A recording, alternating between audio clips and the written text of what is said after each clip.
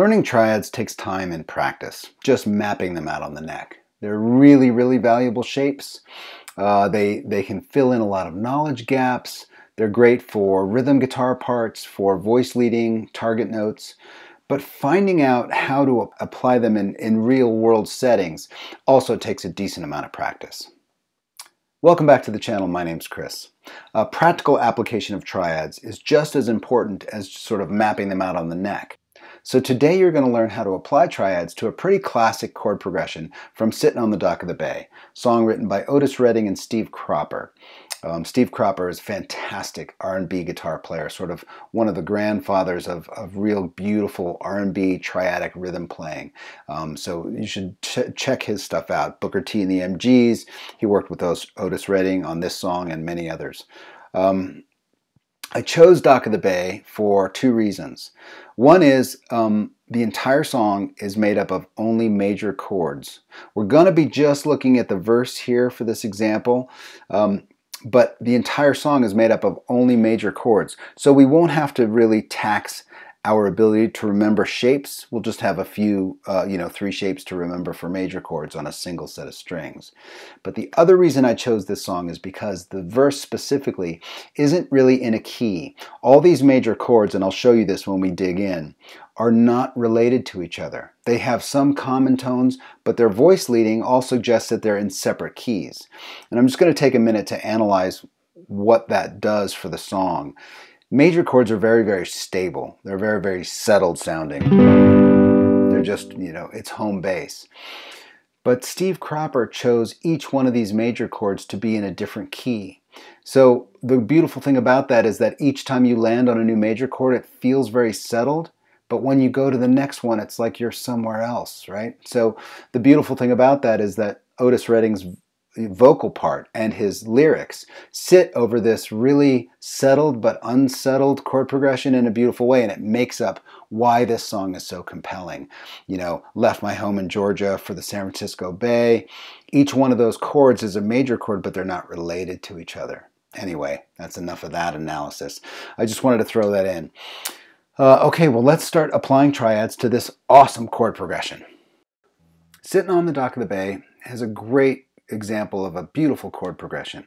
We're only going to be looking at the verse. Uh, there is the chorus, the pre-chorus, there's a bridge in there, um, but the verse represents a very cool sort of blend of easy chords to remember and lots of key changing.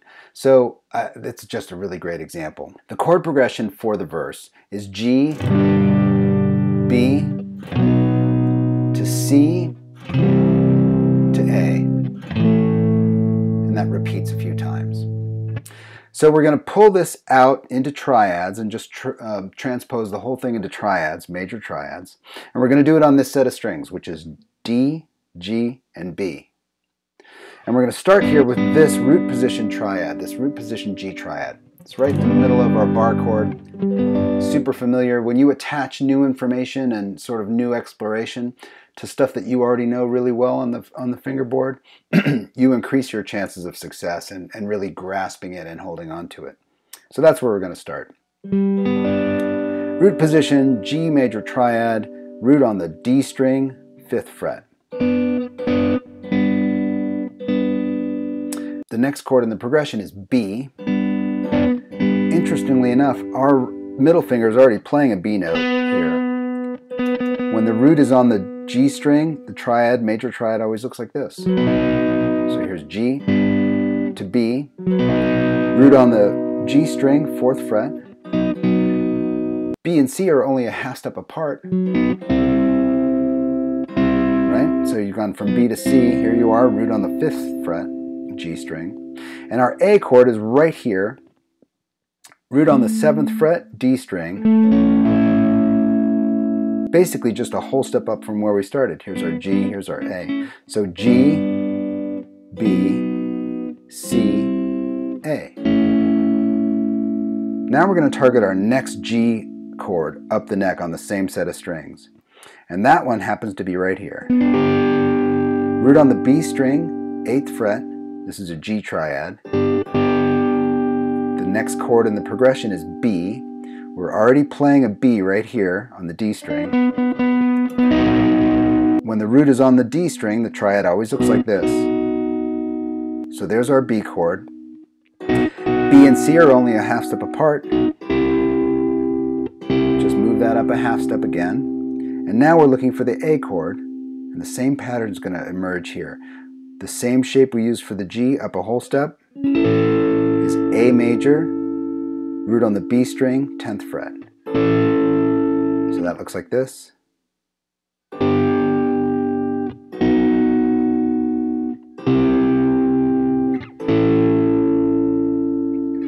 Our last inversion of the G major chord is root on the G string, 12th fret. The next chord in the progression is B. We're already playing a B on the B string here. When the root's on the B string, major triad looks like this. B and C, only a half step apart. Our A chord is up a whole step from where we started on the G. Root on the G string, 14th fret. So that whole progression looks like this.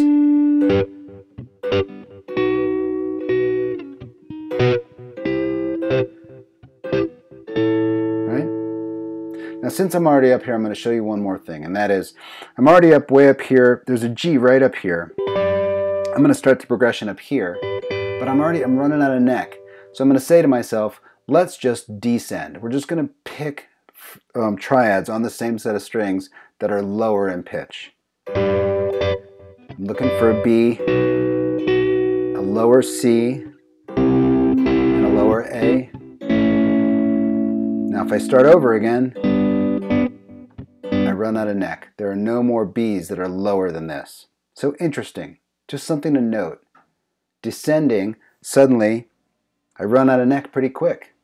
So now I want to just show you a little bit of voice leading. Um, first of all, the, the melody is all voice leading. Um, again, Steve Cropper wrote this chord progression, and Otis Redding wrote the melody and the lyrics around it perfectly. So again, the chord progression is G, this A here. Look at the melody. Isn't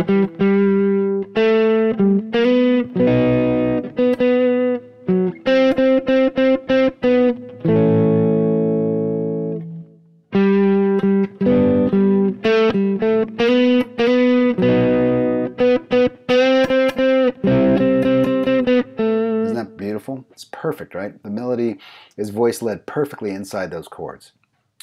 I want to show you another example of voice leading, just breaking this, this first shape, this first set of shapes apart. Here's our G to our B chord. Here's the voice leading. This note stays the same. The third of the G, root 3, 5, becomes the root of the B.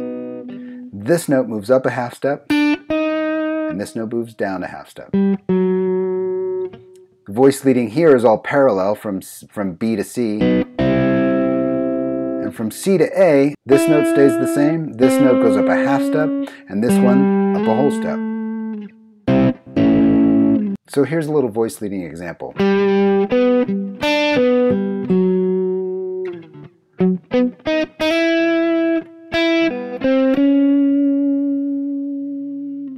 It's just really sort of, I'm just targeting the notes that are moving. Here, I'll do it again, but I'll throw in some bends.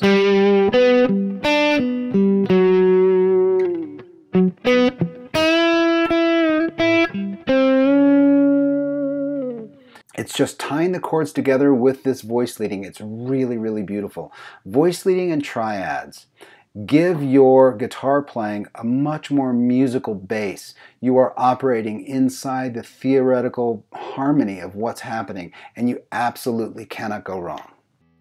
Okay, there you have a practical application for triads. And again, just major triads in one chord progression, um, but it's very practical. You can see how you can start to map these triads to a chord progression that's actually a little on the complex side, even though it's only using major chords.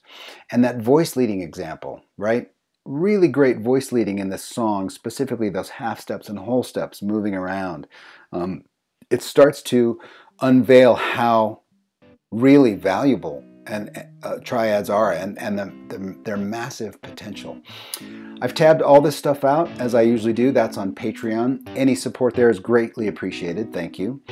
Um, and so if you need them, go get them over there. I hope this is really helpful. Um, you know, you should go and check out the rest of the song. Look at the look at the uh, bridge. Look at the pre-chorus. Look at the chorus, and and use these same ideas to unlock um, triad potential for those parts of the tune as well. All right. I hope this is helpful. I'll see you next time.